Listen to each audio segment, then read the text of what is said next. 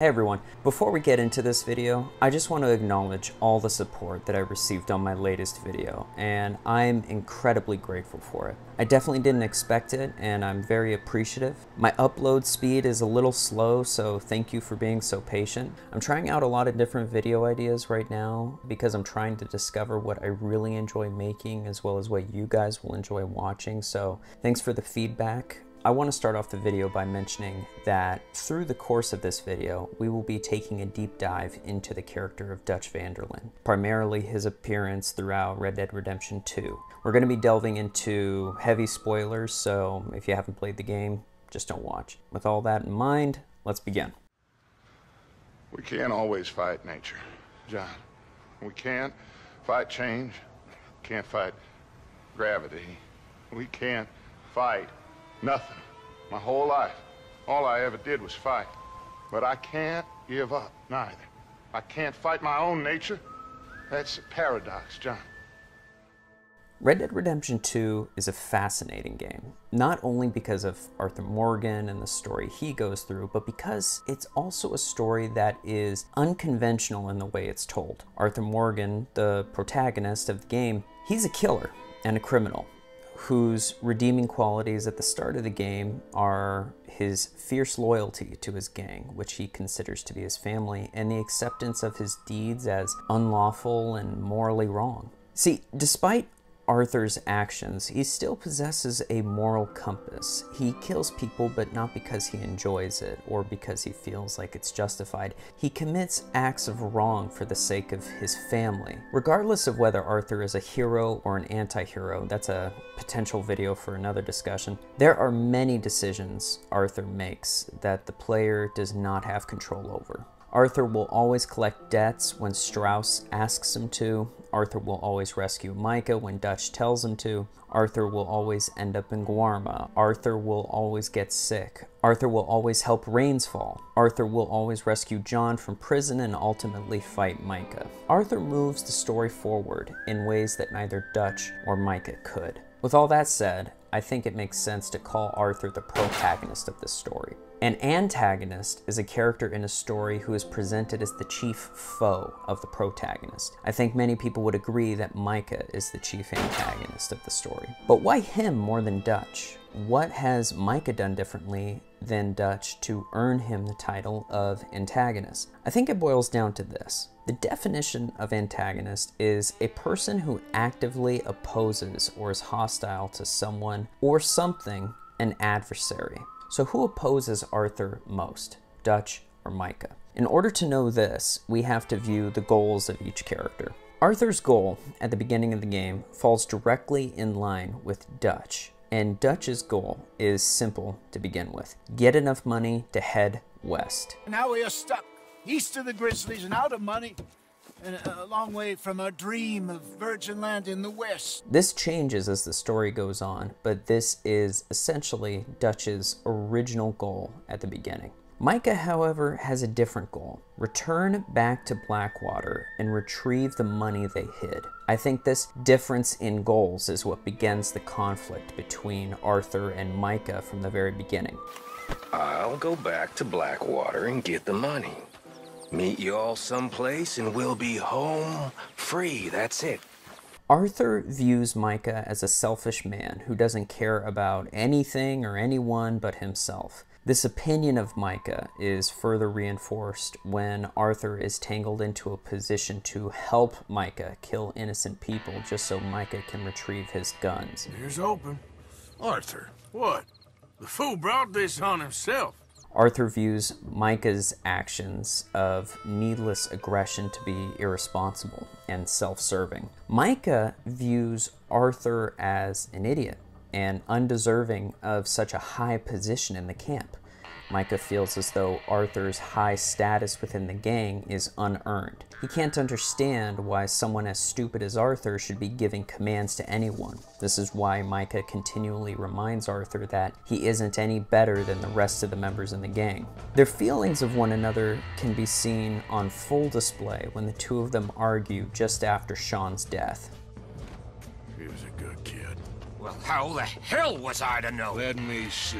They set us up once before. They didn't like us. We destroyed their farm. Should I go on? Go easy on him, Morgan. He was out trying to find a lead, same as you, same as Hosea. All you do is complain when things don't work out, except when it's your goddamn fault. You don't know what you're talking about. You don't give a damn about nobody but yourself. Oh, you act so high and mighty, but you're no better than the rest of us. I've ridden with you boys close on what, six months now? And all you ever done was complain. You can fight, but you can't think. You can't do either. okay, cowboy. I think it would also be good for us to watch their first scene with one another early in the game. You sure about this, Micah? Mr. Morgan, I never thought I would be so pleased to see your face. Been kind of lonely out here. Where's everyone else? Old mining camp back up the hill. Huddled around a fire, waiting for Daddy to put food on the table. Said it before, we got too many mouths to feed. Well, we got a few less now, so you should be happy. That ain't fair, Arthur. I earn my share. You think it's unreasonable to expect others to do the same? Micah suggests that it's unfair and impractical for so many people in the gang to sit around and wait for everything to be done for them. From Micah's perspective, he can't understand why some members of the camp do the hard work while others do nothing. He feels that people who do not serve a purpose do not deserve a share. We can see a similar conversation break out between Arthur and Micah later in the game. We're gonna need to cut some loose. From what Dutch says, the coffers are looking pretty good again. You could almost leave now if we chopped half the dead wood. We ain't doing that. I mean, why the hell do we need a gaggle of girls who won't even you if you put a gun to their head? I'm sure you've tried. Is it too much to ask, considering they get a piece of every damn dollar I bring in? Everyone does their share. I don't see you lifting a finger around camp. Uh, Swanson does his share. Molly, come on. No, that's different. See, uh, uh, this is what I mean. If we go back to their first conversation, Arthur disagrees with Micah and views everyone in the gang as necessary to some degree. Even if someone in the gang served no purpose at all, Arthur would never allow himself to break his loyalty to the family he's acquired over the years. This is the crux of it all. Micah views Arthur as a fool for allowing his loyalty to blind him to the truth that the gang would be better off without useless people tagging along. This frustration with Arthur only continues as the game goes on because Micah believes he would be a far superior leader than Arthur. Arthur views Micah's lack of loyalty as untrustworthy, which leads Arthur to think of Micah as more of a liability than an asset. What makes Arthur and Micah's differing views of loyalty so interesting is that neither of them are fully right or fully wrong when it comes to their outlook on loyalty, and each man represents loyalty to the extremes. Arthur's excess of loyalty leads him to not question Dutch and follow orders blindly, regardless of whether or not he agrees with the morality of it. Micah's loyalty only extends so far as he feels he is benefiting in some way. Anyone who does not serve a purpose to him is considered to be useless. So, where does Dutch fit into all this? If Dutch isn't the protagonist or the antagonist, then what is he? To find this out, I needed some help from Joseph Campbell. Joseph Campbell was an American professor of literature at Sarah Lawrence College who worked in comparative mythology and comparative religion. His work covers many aspects of the human experience. If we were to go off Joseph Campbell's terms regarding archetypal characters, we would probably describe Dutch as a shapeshifter character archetype. The shapeshifter is the character that changes. For example, the character might start off helping the main character or the hero only to betray the hero. The shapeshifter might be thought as an enemy at first, only to be revealed to be an ally, or vice versa. But I think Dutch is a little bit more complex than that. For Dutch, his criminal activity is not just a way to provide for his people. He seeks to make a difference in the world entirely. He views many of his crimes as acts of justice, a way to right wrongs. He sees himself as a dreamer in an ever duller world. Us in and up down here. My daddy died in a field in Pennsylvania, fighting this lot. I ever tell you that? We have lofty goals, Arthur. We're trying to reform society to a kinder, truer, better way. Now, of course, there's gonna be casualties. We are dreamers in an ever duller world of facts. Now, I'll give you that.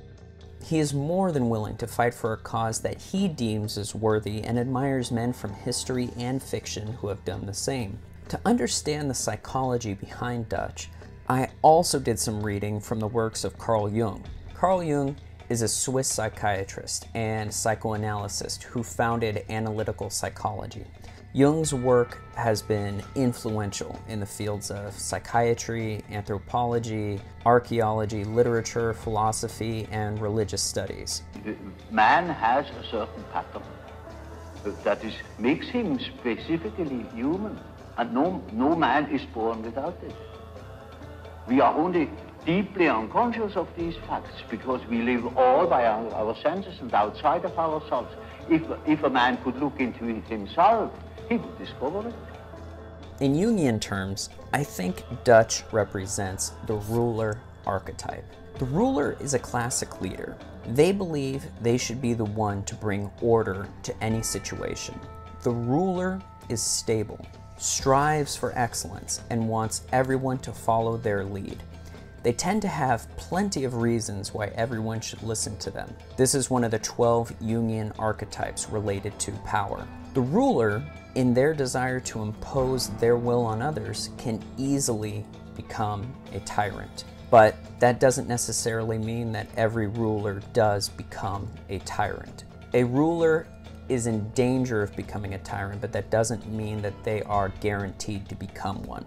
Dutch isn't a tyrant when we first meet him. When we're introduced to him as a character, he presents himself as a desperate man, seeking shelter for himself and for his gang. He wants to regain control of the situation and find a place for everyone to lie low until the law stops searching for them. As the game progresses, we watch Dutch comfort Mrs. Adler as he insists that she come with them so she doesn't freeze to death. Later, we learn from a conversation between Javier and Arthur that Dutch shot a girl. Dutch killed a girl in a bad way, but it was a bad situation. That ain't like him, though. Arthur is surprised to hear this and is reluctant to believe it. This same event is referenced in Red Dead Redemption by the strange man. Do you remember Heidi McCourt's face? Who? She was a girl Dutch van der Linde shot in the head on that raid on the ferry a few years back. All these conversations and events begin to paint the initial portrait of who Dutch is. He's a man who cares greatly for his family, and they trust him with their lives. He doesn't merely lead through words, he leads through actions as well. He would rather ride with Arthur through the snow than sit back and keep warm. He is quick to comfort helpless people in need, and yet, this is the same man who will shoot a girl in the head when cornered. But based off Arthur's reaction, it could be that this murder that Dutch committed in cold blood was one of the first. As the game continues, Dutch and Arthur have a conversation which reveals a lot about who Dutch is. Come on. Are you sure about this, Dutch? Yes. Folks been through a lot recently. We hardly back on our feet yet. And the last thing we need is to get bushwhacked by Colm O'Driscoll. Let's go. I know you hate him, Dutch. He's here for us. I doubt that. Nope, you're just doubting me. I would never doubt you, Dutch. You... You always said revenge is a luxury we can't afford. This is the right call, Arthur. Take this. And this is about more than revenge for business long ago. They were talking about trains and detonators here. Colm always had good information. Come on. Because of the long history between the van der Linde gang and the O'Driscoll gang, Arthur assumes that Dutch is eager to attack the O'Driscolls out of revenge, and Arthur, being the blunt person that he is, confronts Dutch on this. Dutch responds to Arthur's confrontation by insisting that Colm, the leader of the O'Driscoll gang, is searching for them. When I was first listening to this conversation between Dutch and Arthur, I wasn't sure which one of them was correct. Arthur thinks that it would be better to stay back and heal while Dutch wants to take advantage of the situation and attack Colm's men. There's no way to know which one of them is correct this early in the game. However, watching this scene again, I think it's fair to assume that Dutch was paranoid more than anything. Dutch insists that Colm and his men are only up in the mountains because they're searching for Dutch. Arthur disagrees, and I think Arthur is right to disagree. When Arthur disagrees with Dutch, Dutch replies by saying that Arthur is doubting him. When Dutch says this, it's as if he's saying, You aren't loyal to me. Arthur, being the loyal man he is, insists that he is loyal to Dutch by reassuring his leader that he would never doubt him. So, why do I bring this up? What makes this conversation between Arthur and Dutch so important? Well, I think it all comes back to Dutch's archetype. Dutch is a ruler, and one of the many personality traits of a ruler is that the ruler archetype seeks to stop chaos and disorganization by taking control. This is exactly why Dutch is always talking about a plan and why it's become such a popular phrase associated with the character. The plan. I got a plan. Exactly as I planned. I ain't got a final plan yet.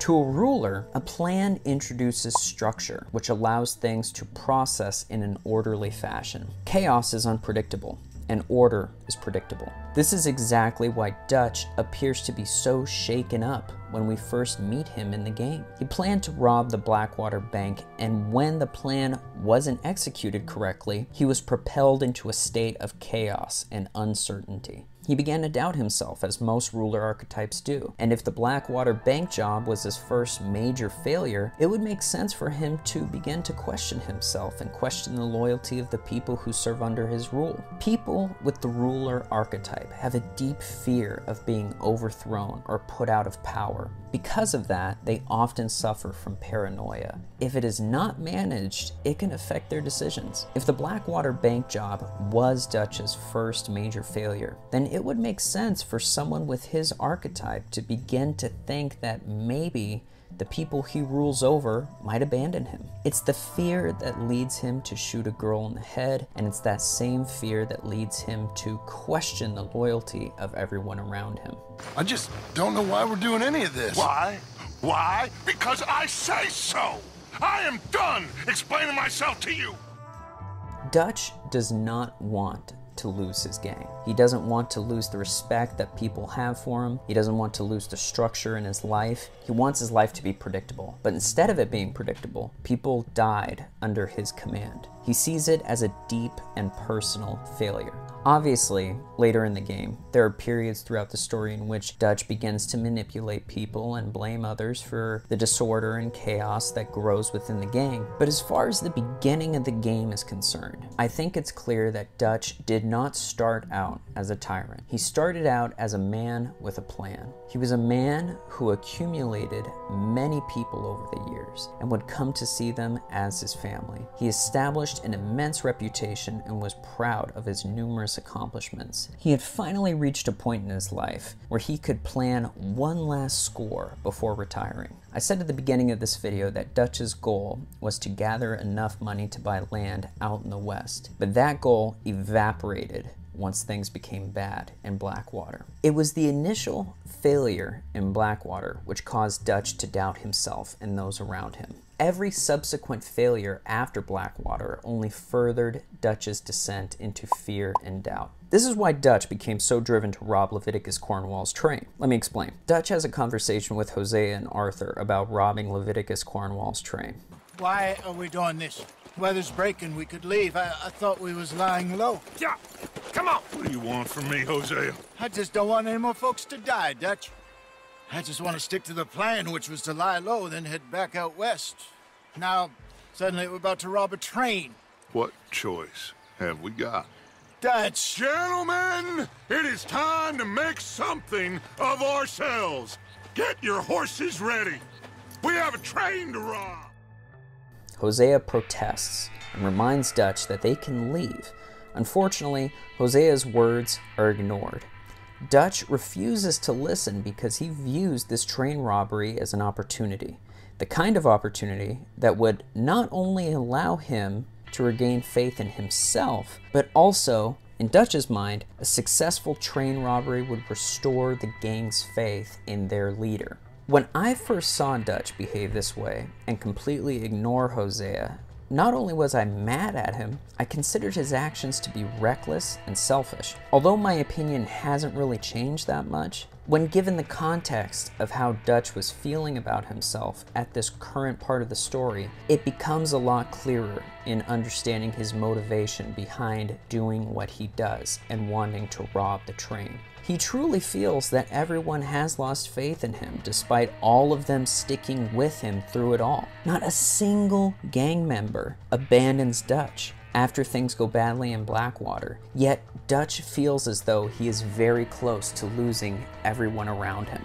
Unfortunately for Dutch, he is a prideful man. He often hides his true feelings and motivations behind closed doors. This conversation between Dutch and Hosea is a great example. Both Dutch and Hosea know that they need money for the gang to survive. If Dutch told Hosea that he wanted to rob a train as a spectacle to regain a little lost respect, Hosea would think of his actions as selfish, but by focusing so much on their need for money, Dutch is spared from any harsh words from Hosea. Dutch isn't stupid after all. He's a very intelligent man, but often puts his own wants ahead of the group's. In Dutch's mind, I think one of his greatest fears is everyone leaving him, which is why he trusts Arthur and Hosea so much and John so little. Dutch values loyalty, despite himself not being a very loyal man. To him, loyalty is almost a requirement because it will guarantee obedience. You don't gotta worry about Javier's loyalty. I ain't so sure about any of you these days. And because he's a ruler archetype, it would frustrate him to no end if people endlessly argued with him and questioned his orders. That obedience is a requirement. This is why he later tells Arthur and Hosea to sit in the wagon furthest behind him when it comes time to leave. Arthur, you're in that one. Bring Hosea. I know you two like to talk about the good old days and what's gone wrong with old Dutch. It's almost as though he's putting Hosea and Arthur in timeout for questioning him. Dutch is not a very loyal man in many ways. One of the most subtle ways is through conversations throughout the game in which he flirts with Mary Beth despite being in a relationship with Molly. There is. There is something about you, Mary Beth. There really is. Thank you. Exactly as I planned. One of the more obvious ways he shows his lack of loyalty is by lying so often to the people closest to him. She was gonna betray us, Arthur. Couldn't you tell? No. Well, I got some Spanish. She was. So how did you know she was gonna betray us? What'd she say? It was in her eyes, in the way she was leading us. But you said you knew Spanish.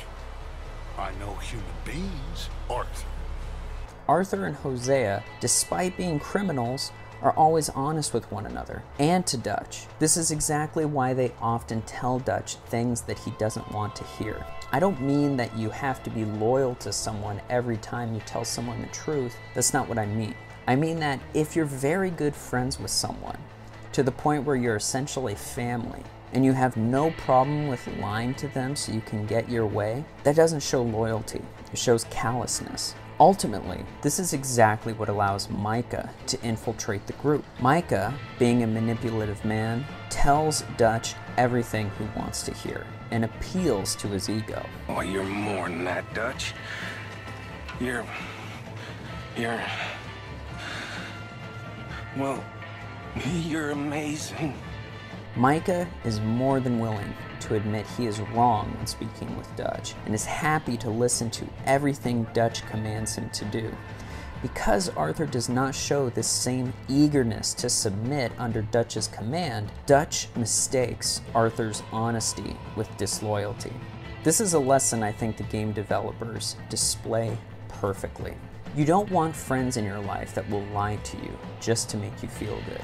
True friends will be honest with you even if it means that they disagree with you. Sadly, Dutch's pride is what allows him to listen to Micah's lies. Now let's talk about Dutch and John. Their relationship is very interesting, and I think the most interesting dialogue between the two of them occurs in the camp, not in the cutscenes. We find out from a conversation between Arthur and Hosea that John left their gang for a year. So how are things with you and John? Fine. Ain't it about time you let it go now? It was a year, Hosea. He ditched us for a goddamn year. I've spoken to him many times. He knows he did wrong. Running off on that kid is one thing, but there's code. He knows that. He ain't Trelawney. Dutch and you pretty much raised him. Arthur is frustrated by this, and so is Dutch. They disapprove of John's actions, but for various reasons. Before John left the gang, Dutch considered both Arthur and John to be like sons. But I truly believe this changed once John left. I think Dutch grew to think of John as more of an adversary than a son. One of their conversations at the beginning of the game refers to John and his relationship with Jack and Abigail. I was talking to little Jackie. There's a fine boy you got. If he's mine. Of course he's yours. It's the truest of gifts, a child. Yet you push him away. I ain't no kind of father. I wish the boy no harm, but... Well, you know how we live. We live free. If you say so. Dutch implies that John should focus on being a better father. Much later in the game, Dutch recognizes that John has become closer to his family and then proceeds to remind John that the gang comes first. Oh, it's nice to see you happy. Happy? Playing at family is beautiful. Why are you being strange with me? Just remember, the gang comes first. We fight for each other. That's all I'm saying. Dutch does contradict himself, but I don't believe these statements contradict Dutch's character. I think both of these statements coming from him actually show exactly what we've been discussing in this topic about him being a ruler archetype. At the beginning of the game, he refers to John as an idiot. He is an idiot, Abigail. We all know it. Later, he tells John that he's arrogant. Don't you be an arrogant son of a bitch, John. You're better than that. And I don't believe either of those statements to be true. John left the gang because he didn't believe he was responsible for Abigail's son. To this day, there's still a lot of speculation as to whether Jack is actually John's son, but in any case, John didn't leave the gang because he thought he was too good for it or because he hated anyone. He left because the prospect of being a father terrified him. I believe Dutch viewed John's absence as betrayal and disloyalty. I don't believe he ever truly forgave John, and I don't believe he ever forgot either. Some things I can forgive, others I can forget.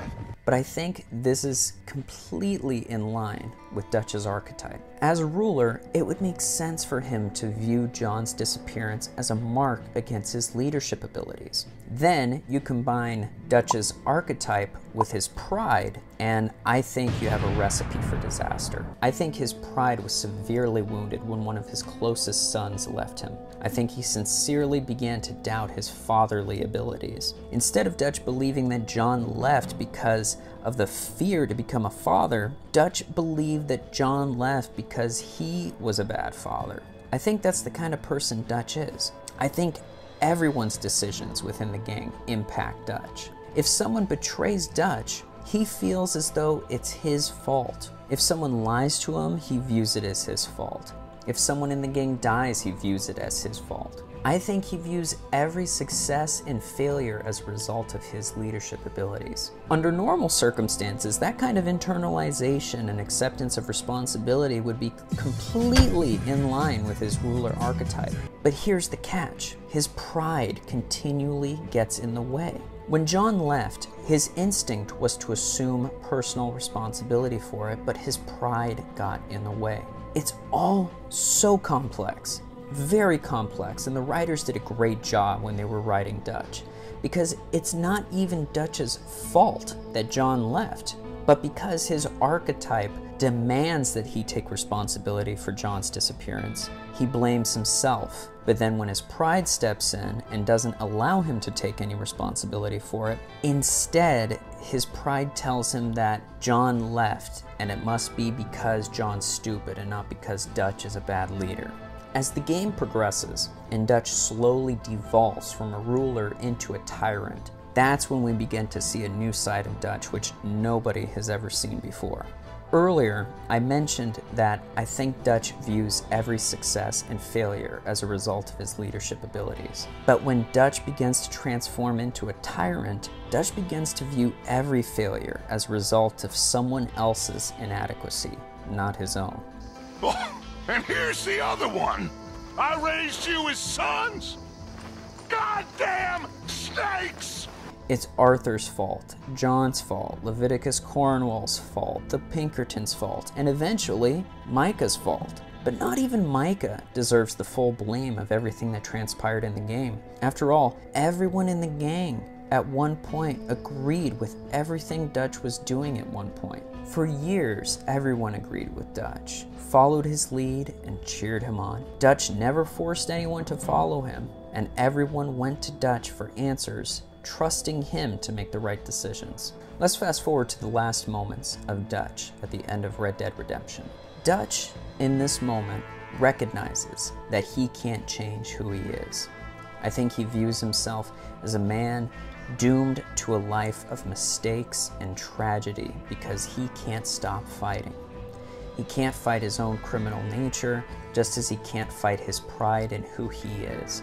He can't fight the dreams he aspires to pursue, and can't fight the inevitable fact that his life was doomed since he began a life of crime. It's very similar to Hosea, actually, in RDR2. Hosea states that they are doomed men. Don't take Dutch's patter about redemption too seriously. We're doomed. Just like every other creature on this rock. But unlike them, we'll go down fighting. And the same statement is essentially portrayed in Dutch as well. I would like to believe that Dutch finally let go of his pride and regretted his past actions in his last moments, but nobody can be certain. So at the end of the day, what can we learn from Dutch?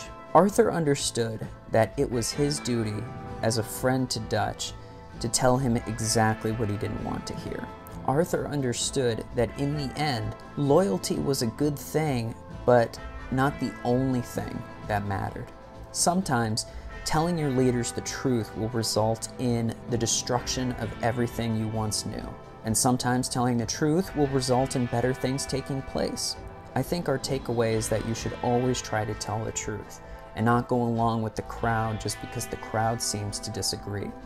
The bravest thing anyone can do is stand against the crowd. It's what Arthur did, and I think it's something that we can all learn. Being a leader is no easy job and requires a great deal of responsibility. I think if we were to learn anything from this game, the most important lesson to take away from it is this beware of those who tell you everything you want to hear. I really hope you guys enjoyed this video. I had a lot of fun making it. I really appreciate the support, and if you guys could leave a like on this video and subscribe, it would mean the world to me. Hit the bell icon for notifications and leave a comment and let me know what you thought. That's it for me, and I'll talk to you guys later.